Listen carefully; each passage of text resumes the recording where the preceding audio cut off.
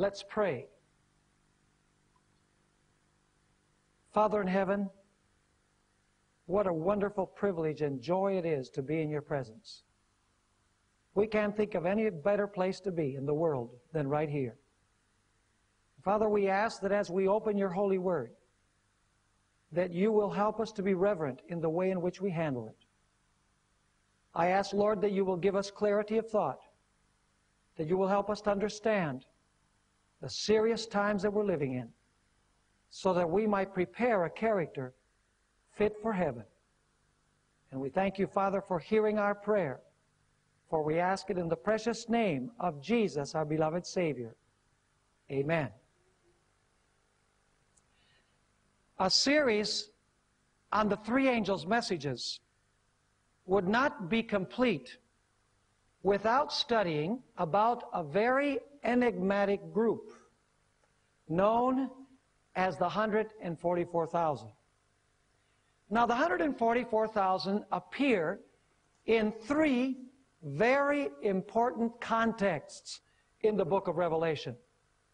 And what I would like to do is go through very briefly these three places in Revelation where the 144,000 are mentioned because they are critically important places in the book. Now, we're not going to read all of the verses because it would take us far too long. What I'm going to do is give you an outline of where each one of the references appears. The first time that the 144,000 appear in Revelation is in chapter 7 and verses 1 through 8. Now, immediately before Revelation 7, 1 through 8, actually in chapter 6, verses 14 through 17, you have a description of the second coming of Jesus Christ.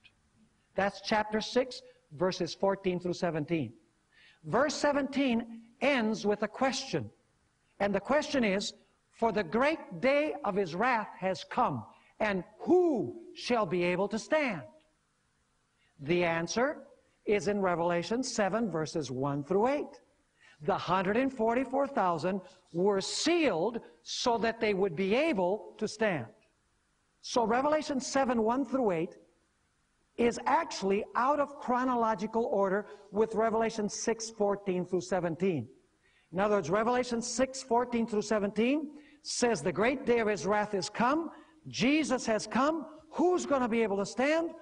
Revelation 7, 1 through 8 says there was a group who were sealed before this who will be able to stand. The second place where the 144,000 appear is in Revelation chapter 14, verses 1 through 5. This is the very chapter where we have the three angels' messages. In fact, verse 5 is the verse that is immediately before the beginning of the three angels' messages in verse 6. Now, in chapter 13, going back to the previous chapter, chapter 13, verses 11 through 18, we find a description of the final crisis that's going to overtake this world. It's a crisis over the beast, his image, his mark, and the number of his name. In fact, we're told there in Revelation 13, 11 through 18, that a death decree is going to be given against those who are faithful to God. That's Revelation 13, 11 to 18. The very next chapter, Revelation 14, 1 through 5, describes the group that were victorious over the beast, his image, and his mark, and the number of his name. They're standing on Mount Zion with the Lamb. In other words, they're victorious. So you have a sequence. Revelation 13, 11 through 18 describes the end time crisis over the beast, his image, his mark, and the number of his name. A death decree is given against those who don't worship the beast and his image. But chapter 14, 1 through 5 explains that there was a group that was faithful to God and will stand on Mount Zion with the Lamb. The third place that we find the 144,000 is in Revelation 15 and verses 2 through 4. Once again, we have to go to the previous chapter in order to understand Revelation 15, 2 through 4. because Revelation 15, 2 through 4 is the climax of what comes before. Now let me give you a little bit of the context. Revelation 14, 6 through 12 presents the three angels' messages. Immediately after the three angels' messages in verses 6 through 12, in verse 14, we find that the whole human race has been divided into two groups. Those who have the seal of God, those who have the mark of the beast.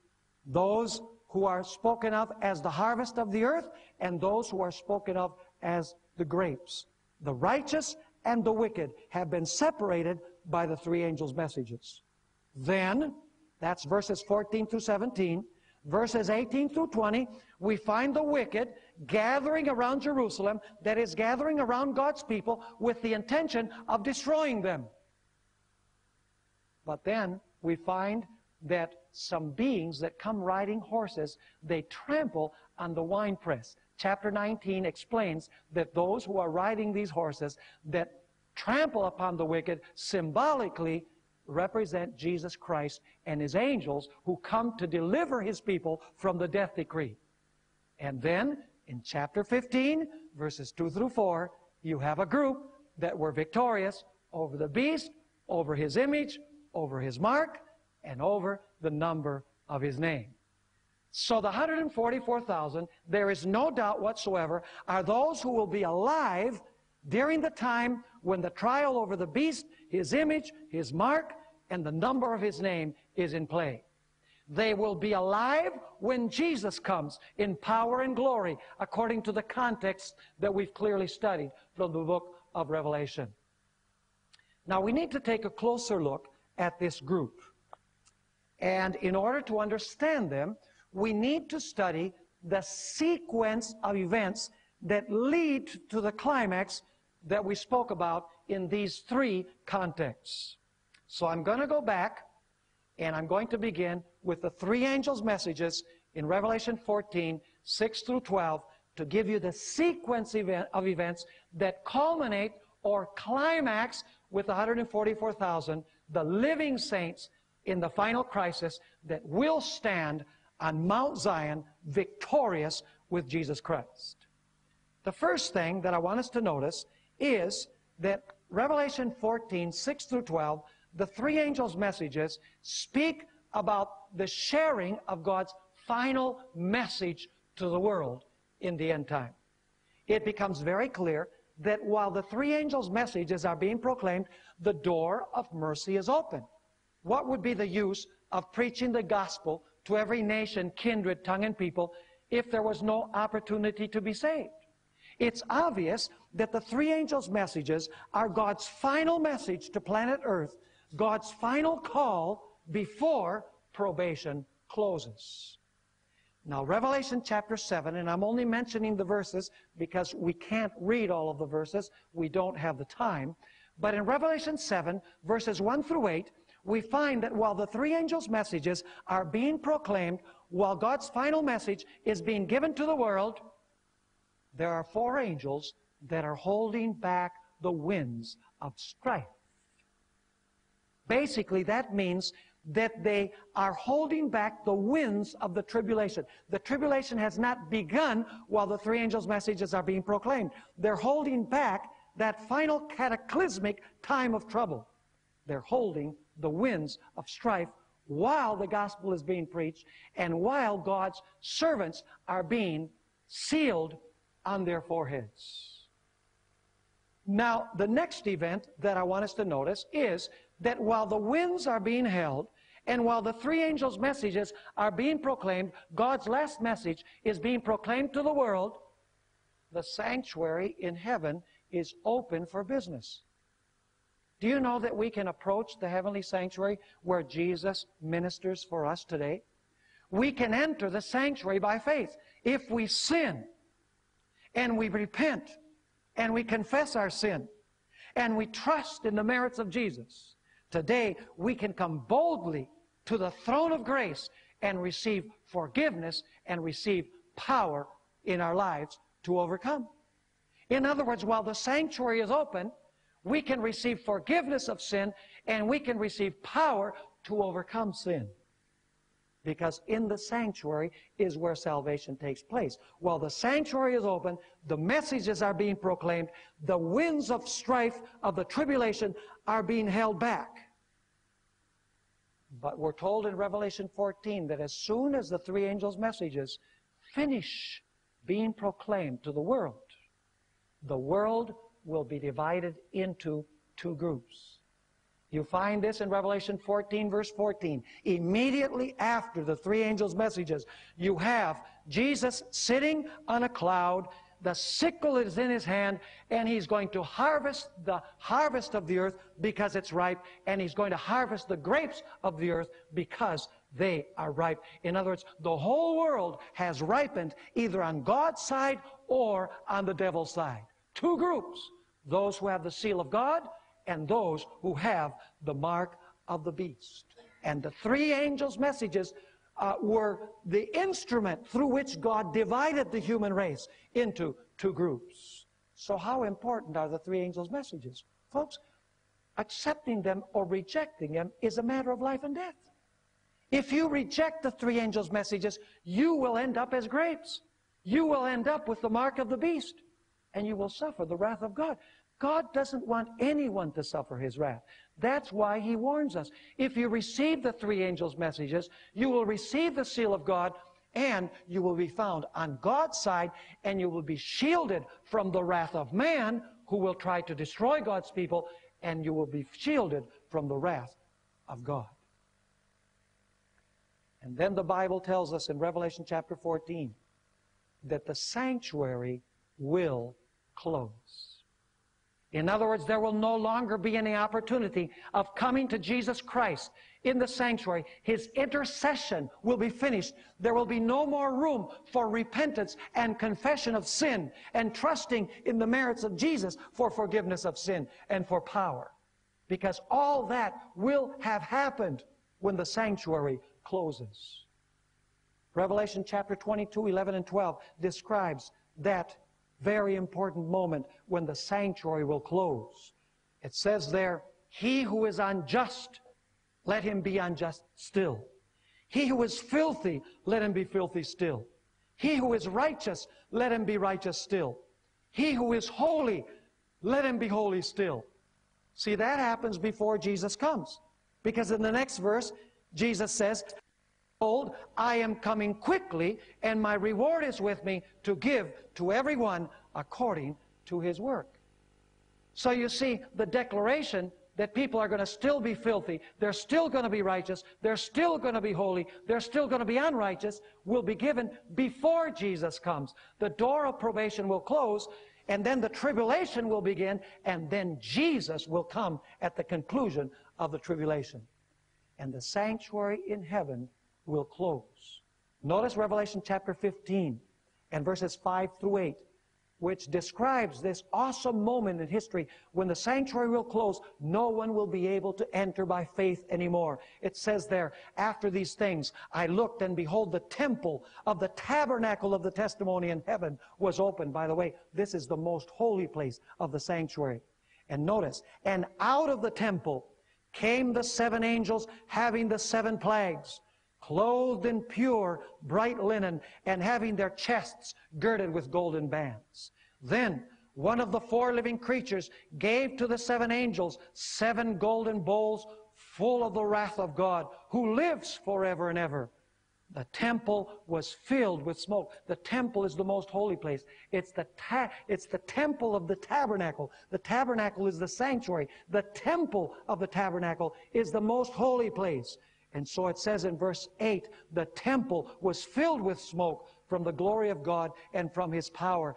And no one was able to enter the temple till the seven plagues of the seven angels were completed. Let me ask you, during the period of the seven last plagues, the period of the tribulation, will anybody be able to enter the sanctuary by faith to have their sins dealt with?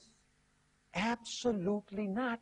Once these angels open the door and come out of the temple or of the sanctuary to pour out the wrath of God, which is called the tribulation, no one will be able to enter the sanctuary. That's why we must accept God's message now while the door of mercy is open, while Jesus ministers in the most holy place of the sanctuary. It's important for us to send our sins there to Him now. And then, of course, when the door to the sanctuary closes, the tribulation and the seven last plagues will take place. This is going to be one of the worst periods in the history of the world. In fact, it will be the worst period in the history of the world.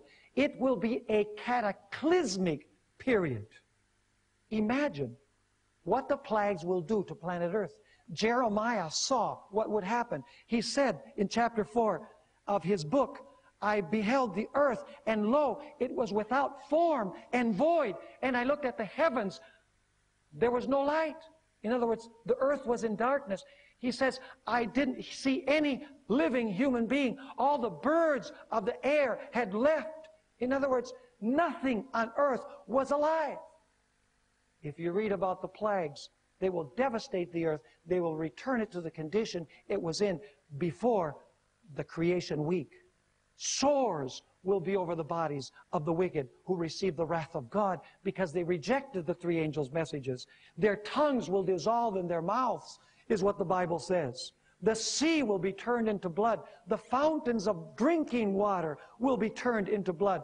The sun will scorch the vegetation of the earth. And then there will be a supernatural darkness. Human beings will be slaying one another. There'll be a global earthquake. Islands will disappear. Mountain ranges will disappear. In fact, there will be a rain of hail. Some pieces of hail weighing as much as 50 pounds. And so the plagues will totally devastate and decimate planet Earth. So you better be sure that you will be protected from the wrath of God by accepting the three angels' messages. As I mentioned, the Bible says that this time of trouble will be the worst in the history of the world. In fact, let's read about it. In Matthew chapter 24 and verses 21 and 22, it says, For then there will be great tribulation, such as has not been, been since the beginning of the world until this time, no, nor ever shall be. And unless those days were shortened, no flesh would be saved. But for the elect's sake, by the way, that's 144,000, those days will be shortened. We're being told here that unless the period of tribulation was shortened, nobody would be left alive because this period is going to be absolutely terrible. This period is also described in Daniel chapter 12 and verse 1. Daniel chapter 12 and verse 1. If you look at the previous chapter, Daniel 11, it speaks about the king of the north and his followers, which represents the same as the beast in Revelation chapter 13. It says that they will go out to try and destroy God's people. And a time of trouble will ensue. Notice Daniel chapter 12 and verse 1. At that time, Michael shall stand up, the great prince who stands watch over the sons of your people. Praise the Lord that there's going to be someone watching over his people. But notice that his people are going to go through the time of trouble. Their faith will be tested, but the plagues will not touch God's people. The wrath of God will not touch God's people. And so it says, at that time Michael shall stand up, the great prince who stands watch over the sons of your people. And there shall be a time of trouble such as never was since there was a nation, even to that time. And at that time, your people Notice this is the good news. Your people, God's people, the living saints, shall be delivered, everyone who is found written in the book. Everyone who was found written in God's book of life because they passed victoriously through the judgment. Those who were pronounced righteous still, those who were pronounced holy still, will be shielded and delivered from this time of trouble. The culmination of this time of trouble will be the second coming of Jesus in power and glory at the very end of the tribulation. Notice Revelation chapter 6 and verses 14 through 17, where this great event, the final event of the tribulation, the second coming of Jesus, is described.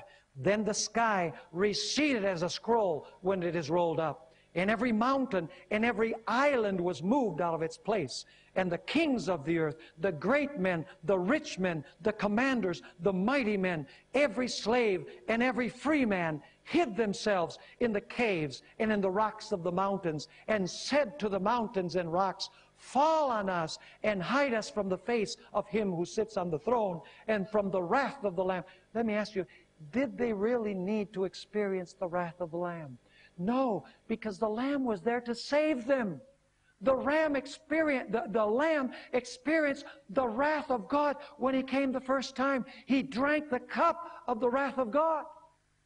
And if they had accepted Jesus Christ, and they had feared God and kept His commandments and given glory to God and realized that they were in the hour of God's judgment and they had worshiped the Creator by keeping His holy Sabbath and had come out of Babylon, they would have been spared. God warned them. God told them to come out. But now because they rejected God's mercy, the wrath of the Lamb falls upon them instead of the salvation of the Lamb. And then I want you to notice how this scene of the second coming culminates with a question in verse 17. For the great day of his wrath has come, and who is able to stand? Where would you expect to find the answer to that question? The great day of his wrath has come, and who shall be able to stand? I think the very next chapter would be a good place to look. Now, do you know what we find in the very next chapter? We find the 144,000. And do you know what's happening to them? They are being what?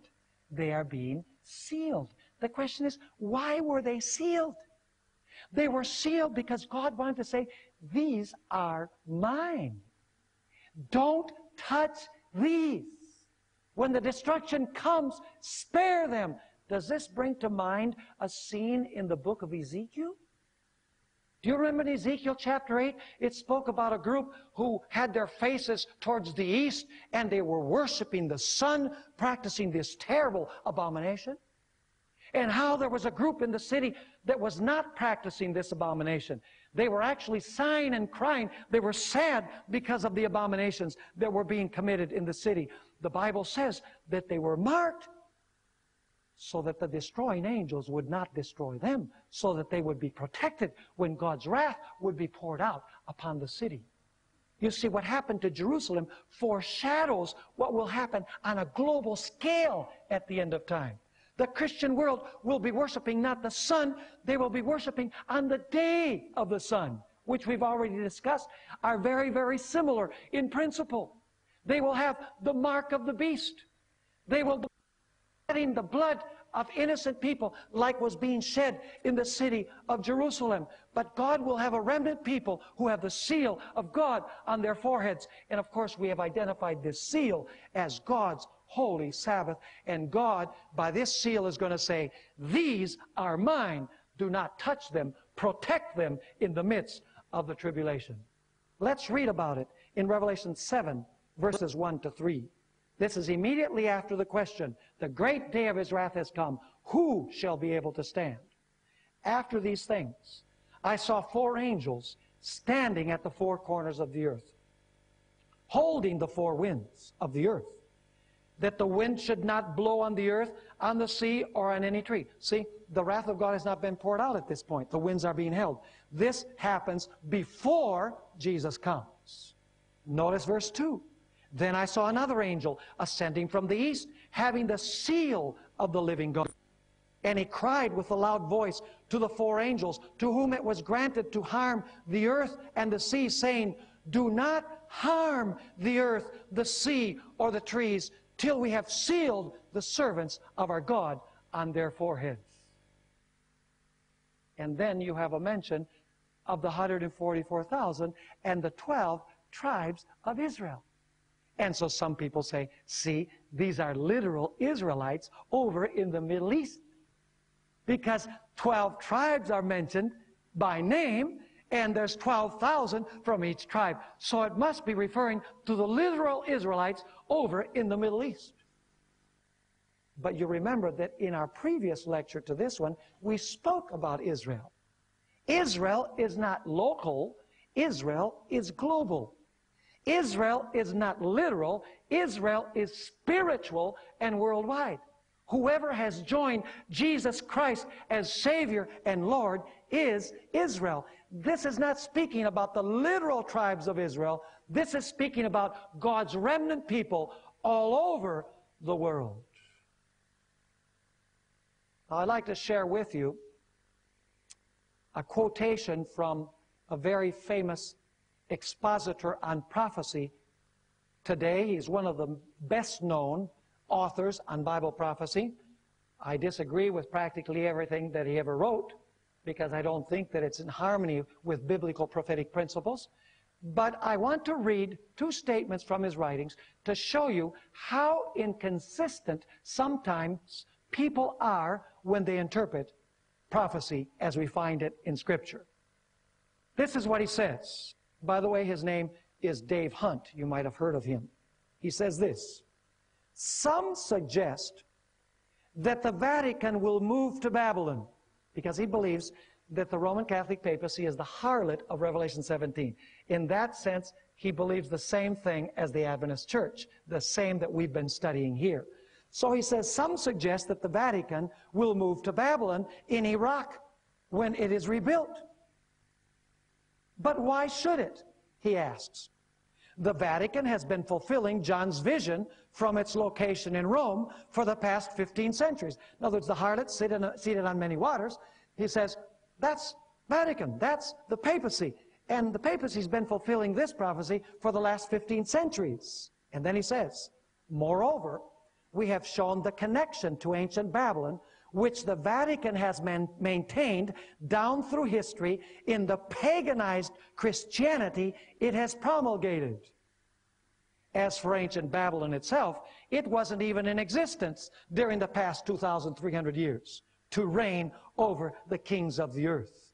Babylon lay in ruins, while pagan Rome and later Catholic Rome, the new Babylon, was indeed reigning over kings.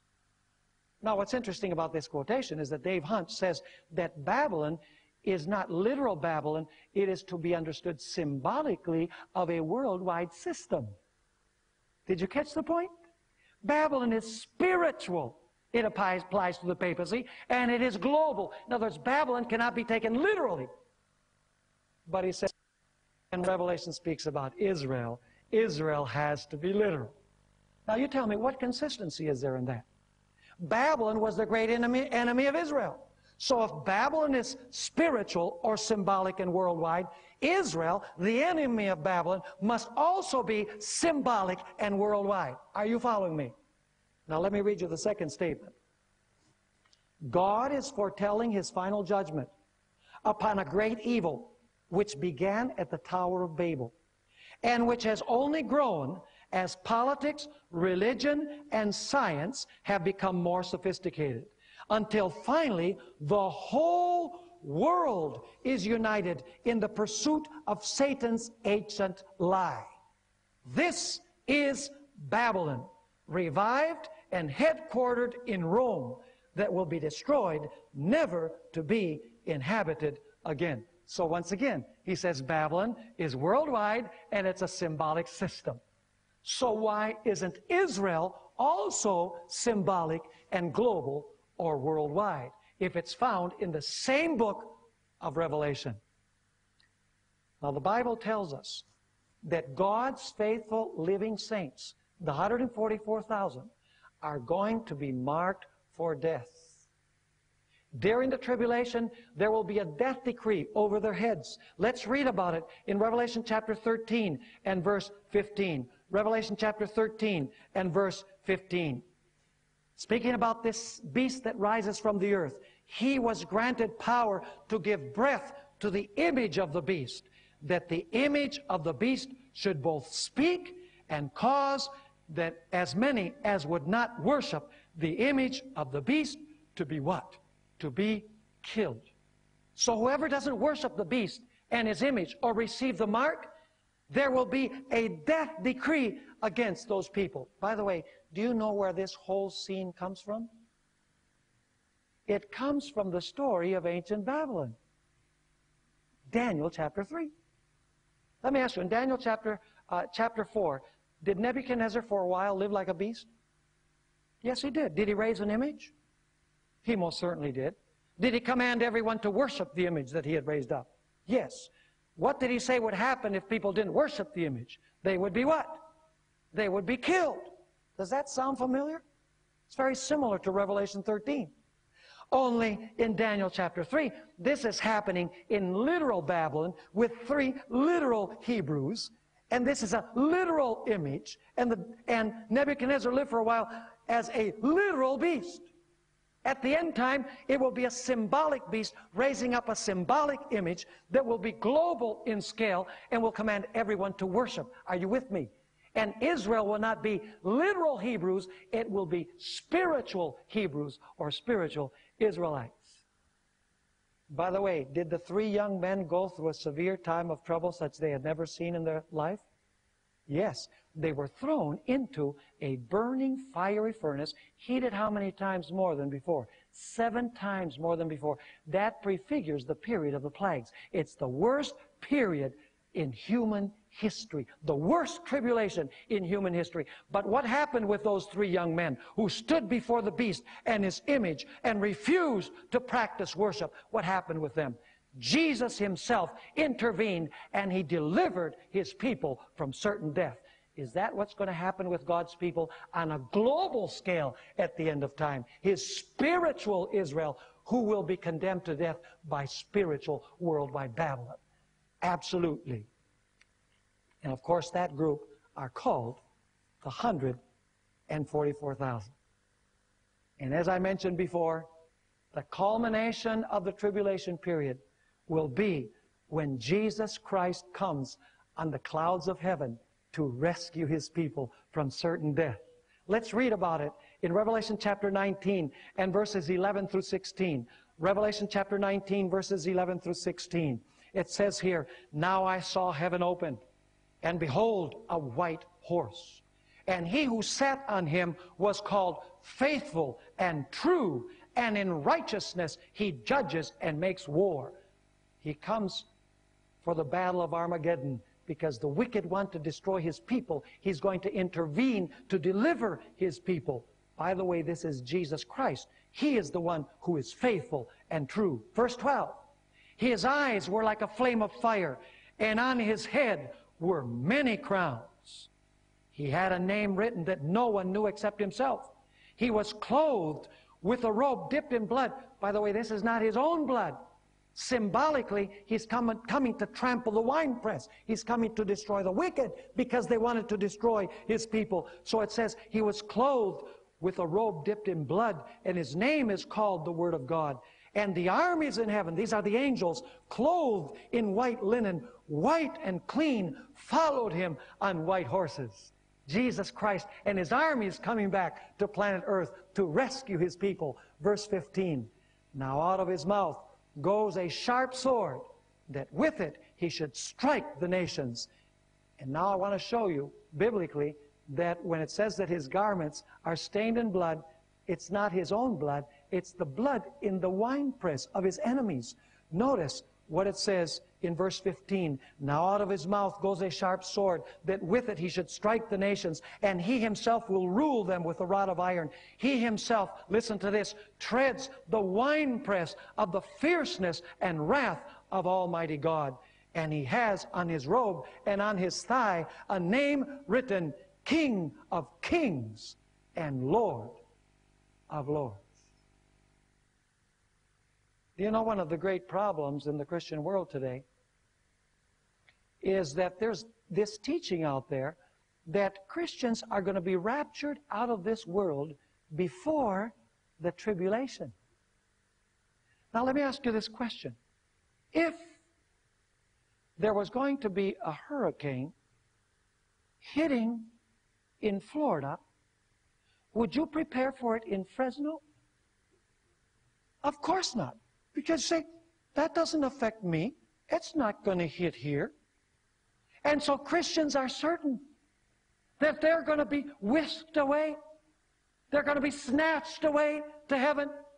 And then the Jews are going to be left behind. They're, they're going to suffer this horrendous time of trouble. such as the world has never seen. But they're going to be surprised because they will find themselves on this earth during this period of terrible tribulation, and they will not have the necessary faith to pass through this period victoriously because they were not expecting to be here. Are you understanding how serious this teaching of the rapture is? Listen, if you think you're going to be raptured to heaven, you would never prepare for the tribulation, would you? Because you're thinking that you're going to be in another place. By the way, the Bible tells us that the 144,000 will be a special group. They will have a special character. They will have a character that is victorious over sin totally and completely in their lives. Some people say, oh, it's not possible to, to gain the victory over sin. Only when Jesus comes will Jesus transform us and He'll change us. The Bible teaches that it is possible to overcome sin fully and completely. Of course, people say, well, Pastor, are you perfect? And of course, the answer is, Pastor Bohr is not perfect. But whether I am perfect or not is immaterial. It makes no, no uh, sense to say that one can only be perfect if Pastor Bohr is perfect. My perfectibility does not show whether you can be perfected or not. The Bible teaches that God's people will live a life without sin. After all, they will not be able to go into the sanctuary to take their sins there to Jesus Christ. They will have to have the total victory over sin. And they won't do it themselves. They have no power to do it. They will do it because they follow the Lamb wherever He goes. They will do it because they depend on Jesus Christ every instant of their lives. Let's read a few passages about the 144,000. Revelation chapter 14 and verses 1 through 5 describes the sterling character of this group. Here, John, inspired by the Holy Spirit, says, Then I looked, and behold, a lamb standing on Mount Zion, and with him 144,000, having his father's name written on their foreheads. And I heard a voice from heaven like the voice of many waters, and like the voice of loud thunder. And I heard the sound of harpists playing their harps. They sang, as it were, a new song before the throne before the four living creatures and the elders, and no one could learn that song except the 144,000 who were redeemed from the earth. And now notice their character. These are the ones who were not defiled with women, for they are virgins. Don't worry. If you're married and you live until Jesus comes, you can be among this group. When it says that they are virgins, it's speaking spiritually. They did not actually embrace the teachings of the harlot and her daughters. Those are the women that are mentioned here because marriage is honorable. If a man and a woman marry in harmony with the standards that God has established, there's nothing defiling about that. What this is saying is that these 144,000 were not defiled with Babylon and her daughters. They did not drink her wine. They did not embrace her doctrines or her practices. Notice what else it says about them. These are the ones who follow the Lamb wherever he goes. See, that's why they're victorious over sin. They follow the Lamb wherever he goes. They're like Enoch, who walked with God. And the walk was so close with God that finally God said, Enoch, you don't have anything more to do on planet Earth. You don't belong down there. You're not a citizen down there. Come, come to heaven, and we'll walk the street of gold together throughout the ceaseless ages of eternity. That's what the 144,000 are like. Their life is totally and completely for Jesus. And so it says, these are the ones who follow the Lamb wherever he goes. These were redeemed from among men, being firstfruits to God and to the Lamb. And now notice, and in their mouth was found no deceit. The word deceit is pseudos. In their mouth was found no lie. They spoke only the truth, for they are without fault before the throne of God. What a character! You see, they beheld Jesus in all of his glory. and they reflected the character of Jesus. See, they accepted the three angels' messages, folks. They kept the commandments of God. They had faith in Jesus. They feared God. They gave glory to God by revealing His character to the world. They left Babylon. They did not worship the beast. They didn't worship the image. They did not receive the mark. In other words, their loyalty was only with Jesus. Now, do you remember that question? The great day of his wrath has come, and who shall be able to stand? Do you know that that question is asked in other places of the Bible as well? And immediately after the question is asked, you have once again a description of a group that has a sterling character. Notice Malachi chapter 3 and verse 2. Malachi chapter 3 and verse 2. But who can endure the day of his coming? See the same type of question? Who can endure the day of his coming? And who can stand when he appears? For he is like what? A refiner's fire and like launderer's soap. Does Jesus want to cleanse us and purify us? Does he want to make us fireproof in our characters so that when he comes, we are not destroyed by the fire, but we are spared like the three young men in the fiery furnace? Absolutely. Notice Isaiah 33, 14 through 16. You know, many Christians think that the wicked are going to burn in the fires of hell forever. Do you know that the Bible teaches that it's the righteous that are going to live in the fire? You Say, now what? You say the righteous are going to live with the consuming fire? Yes, it's the righteous, not the wicked. Because the Bible, as we've studied, says that the wicked are going to be returned to ashes. Satan and his angels are going to be ashes. So they're going to go out. But the fire that consumed the devil and his angels and the wicked will continue to exist because the fire is the glory of God. Now notice Isaiah 33, verses 14 through 16. Notice the question again. Who among us shall dwell with the devouring fire? Who among us shall dwell with everlasting burnings? Notice the answer. He who walks righteously and speaks uprightly. He who despises the gain of oppressions. He who gestures with his hands, refusing bribes who stops his ears from hearing of bloodshed and shuts his eyes from seeing evil. He will dwell on high. His place of defense will be the fortress of rocks. Bread will be given him. His water will be sure. Is there a sterling character described here? Once the question is asked, who among us shall dwell with the devouring fire? Who among us shall dwell with everlasting burnings? Then you have the sterling character of those who will dwell with the everlasting fire. Notice Psalm 15, verses 1 through 5. Once again, it begins with a question, followed by the sterling character of a certain group.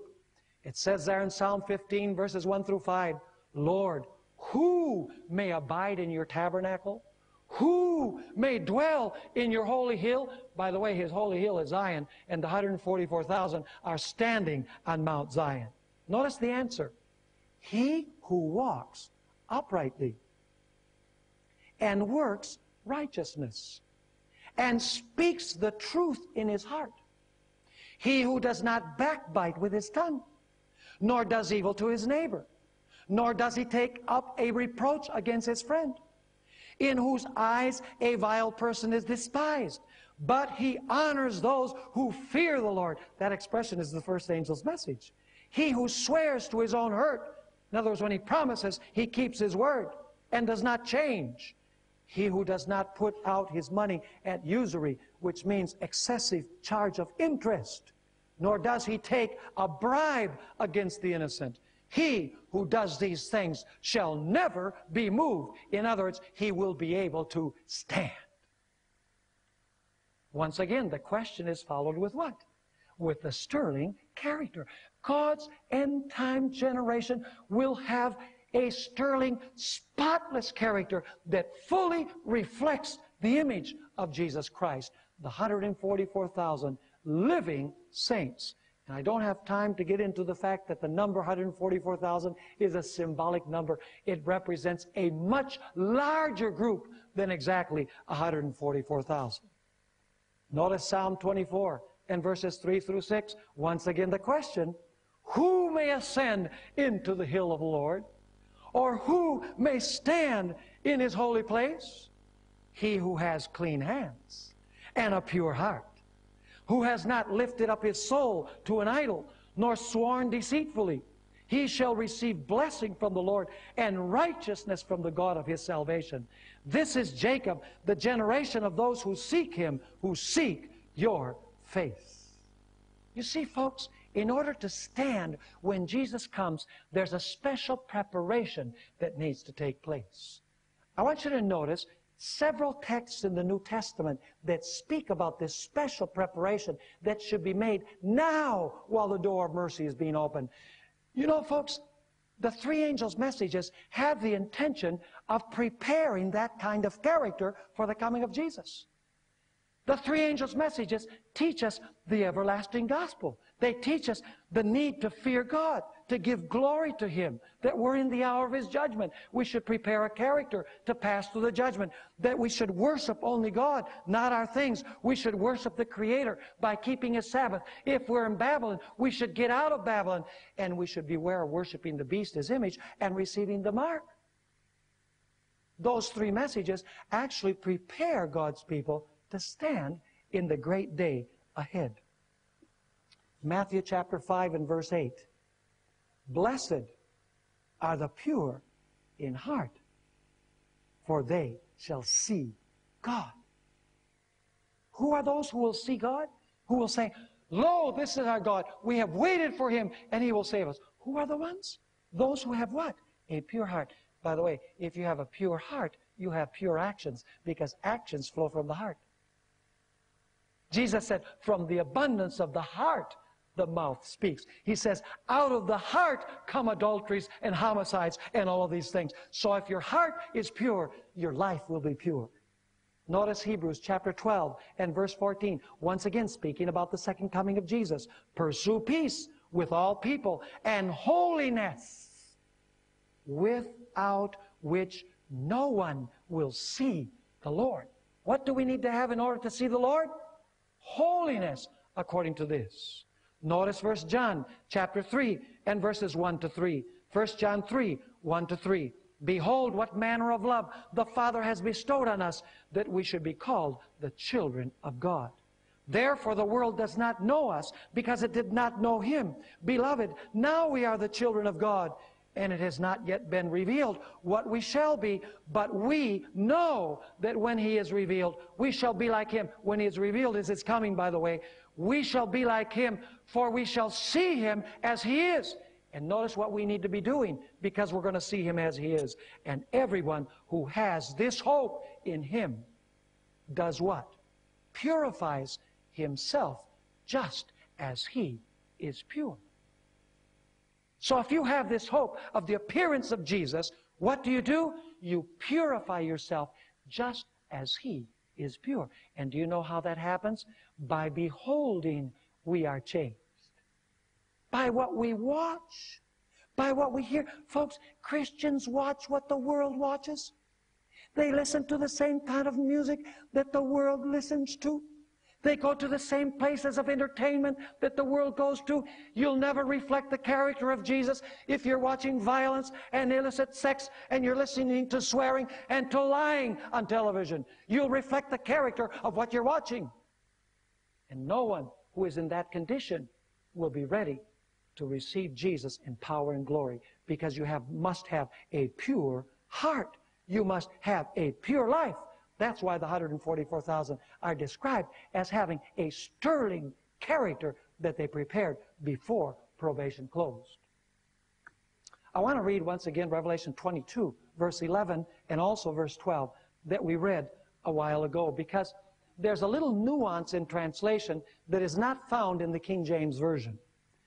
Revelation 22 and verse 11.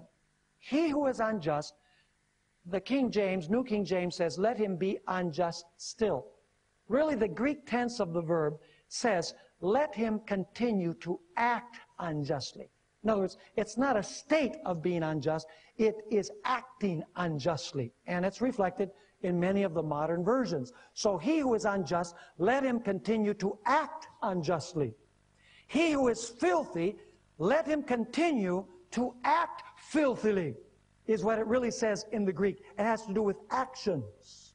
And then it continues saying, He who is righteous, let him continue to act righteously. And he who is holy, let him continue to act in a holy manner. And then, of course, when that happens, it says, And behold, I am coming quickly, and my reward is with me to give everyone according to his work. There's one final passage that I want us to take a look at before we bring this to a close. It's found in the book of Joel, chapter 2. And it has the same question that we noticed in several other passages. By the way, we don't have time to read verses 1 through 10 of Joel 2. It's describing the second coming of Jesus Christ, the first 10 verses. God is coming with his army to the world. Let's begin at verse 10. The earth quakes before them. This is speaking about Jesus coming with his angels. The earth quakes before them. The heavens tremble. Read Matthew 24. There it speaks about the heavens and the earth trembling. The sun and the moon grow dark. Once again, Matthew 24. And the stars diminish their brightness. This is the second coming of Jesus. And it says, the Lord gives his voice before his army. Those are the angels. For his camp is very great. For strong is the one who executes his word. And now notice the question. For the day of the Lord is great and very terrible. Who can endure it? Is that the same question? The great day of his wrath has come. Who can endure this day when Jesus comes with his angels? There's a special preparation that has to take place. And that preparation is mentioned beginning with verse 12. By the way, here it's speaking about the Day of Atonement. We are now in the Day of Atonement when we should be cleansing our lives from sin through the grace and power of Jesus Christ. So that when the sanctuary is closed, it won't be necessary to introduce sin into the sanctuary because on the Day of Atonement, sin is taken out of the sanctuary primarily at the end of the Day of Atonement. Notice what it says in verse 12. Immediately after saying, Who is able to stand in this day? God gives the counsel. He says, Now therefore, says the Lord, turn to me with all your heart, with fasting, with weeping, and with mourning. This is what happened on the Day of Atonement. You can read it in Leviticus 23. It's the only day in the Hebrew calendar where fasting was required in the Hebrew feasts. And so it says with fasting, with weeping, and with mourning. So rend your heart and not your garments. Return to the Lord your God, for he is gracious and merciful, slow to anger, and of great kindness, and he relents from doing harm. Who knows if he will turn and relent and leave a blessing behind him, a grain offering and a drink offering for the Lord your God? Blow the trumpet in Zion. By the way, the feast of uh, the Day of Atonement was announced by trumpets. So this is the announcement of the Day of Atonement. It says in, once again in verse 15, blow the trumpet in Zion, consecrate a fast. See, there you have it again. Call a sacred assembly. Everybody on the Day of Atonement had to meet together. Gather the people, sanctify the congregation, assemble the elders, gather the children and nursing babes. Let the bridegroom go out from his chamber and the bride from her dressing room. Let the priests, these are the religious leaders, folks, let the priests who minister to the Lord weep between the porch and the altar. Let them say, Spare your people, O Lord, and do not give your heritage to reproach that the nations should rule over them. Why should they say among the peoples, Where is their God? Is there a work of preparation that needs to take place in order for God's people to be able to stand? Very clearly, in all of these passages, we are told that God's people will have a sterling character not because they developed this goodness, but because Jesus Christ dwelt in their hearts because their focus was only and exclusively upon Him. You know, some people say, You're so heavenly minded, you're no earthly good.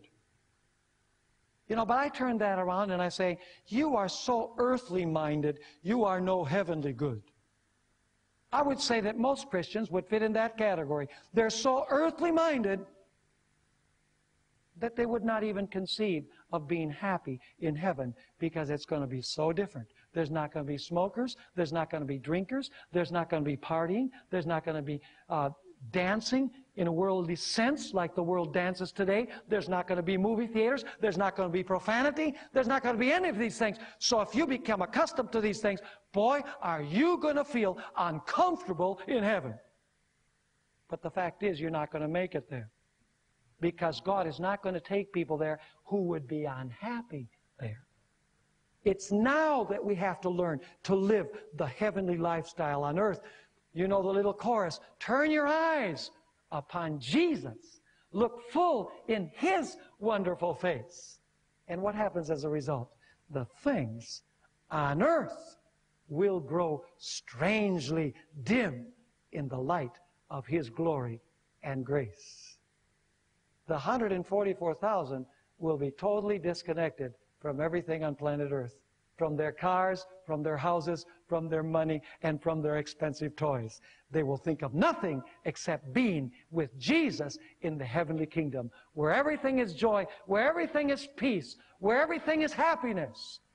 That is their only desire in their lives, is to be with Jesus. And so Jesus will say, folks, you don't have anything more to do on planet Earth. You're wasting your time down there. Come and we will walk together on the street of gold. We will go through the gates of pearl, and forever and ever we will live together, and we will sing together. Won't that be a wonderful day? I pray to the Lord that on that day none of us will be missing.